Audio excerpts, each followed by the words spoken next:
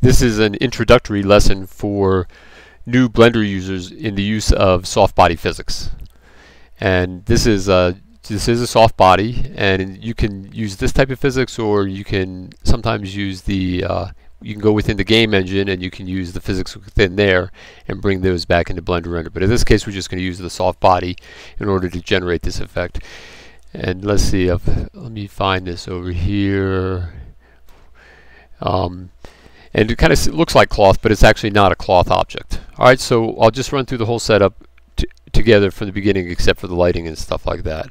Alright, so I'll stop this for a second. I'll just let's oops, let me get it so you can see the whole display. Turn off that guy.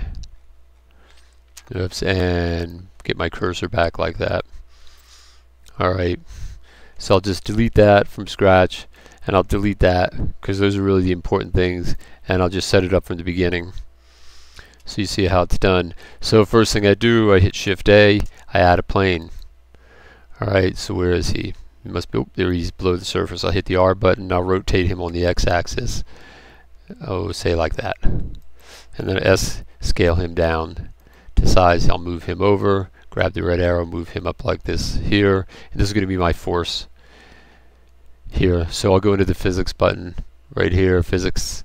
I'll set a force field, click down here, make it wind, and I'll see if it's pointing in the right direction by changing the strength. Oh, so it's pointing in the wrong direction. So hit RX, flip him around like that. So now I have a wind facing in this direction.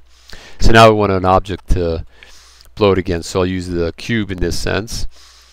So I'll start it over here add a cube to the scene he's below the surface I see. So I'll raise him up scale him scale him down and then let's see.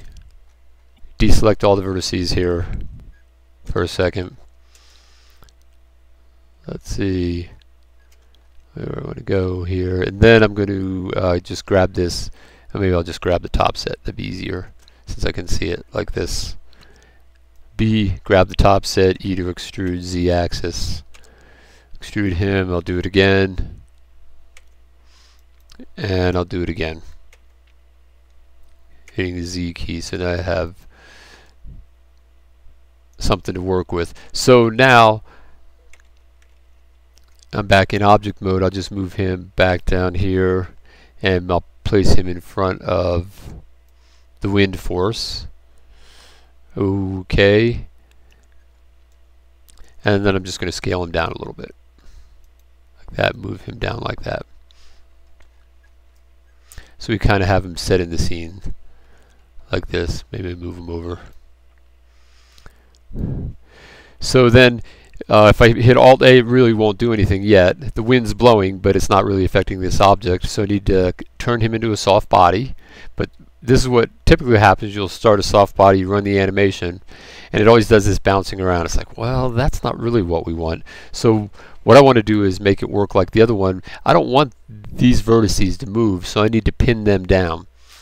And if I go into weight paint mode right now, like this, you can see everything is solid blue. It means all the vertices within this object are basically free to move. If it was red, it would be pinned down. So I'll just go back into object mode and show you how we do this. So within here you need to go this button right here which is object data. You go into object data and you need a new vertex group. So uh, I'll give it a name. I'll call it VG1, vertex group 1. And then you can set the values within the vertex group. Well, there's nowhere to set it, and that's because you have to be in edit mode in order to set it. You notice when I pop in and out of edit mode, you can see the numbers show up. So it says everything is set currently has a weight of zero and that equates to that dark blue like that.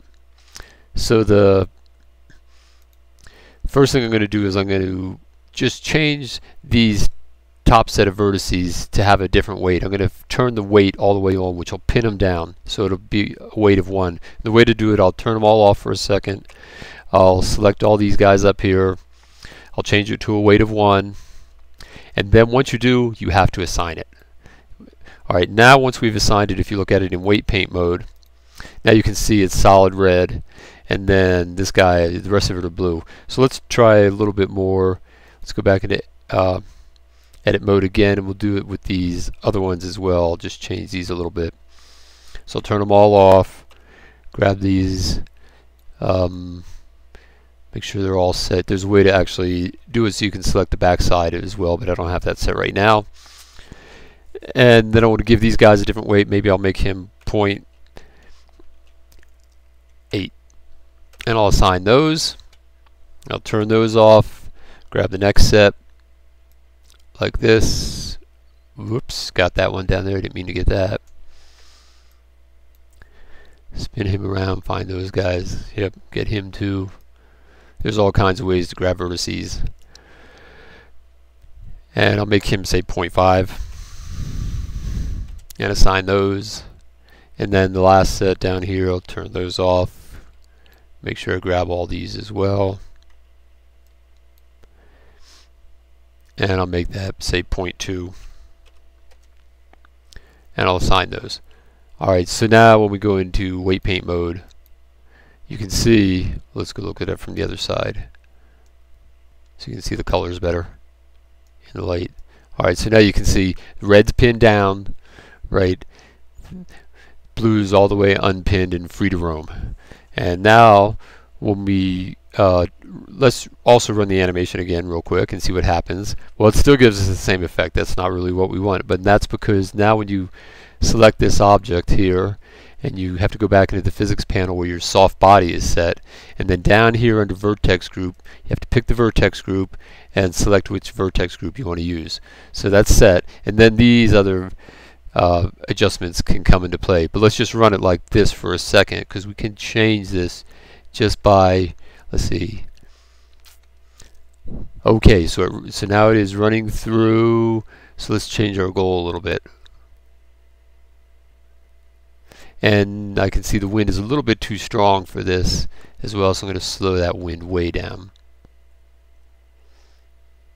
Oops, it's in reverse. Doesn't need to be very strong. And then that kind of gives you an idea. No it kind of looks rough right? To an extent well in part that's because there's not enough vertices so I'm just going to click the whole thing.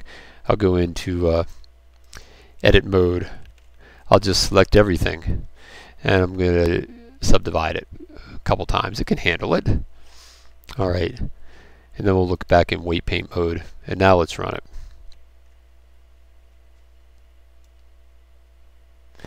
And you can see the effect now. Let's go get the wind.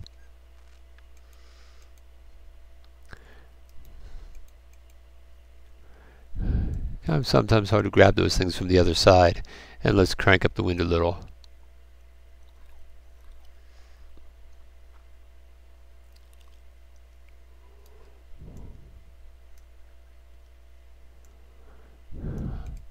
So now you can really mess with the uh, the goals and the edges and the quads. These are, here you go. Hang on.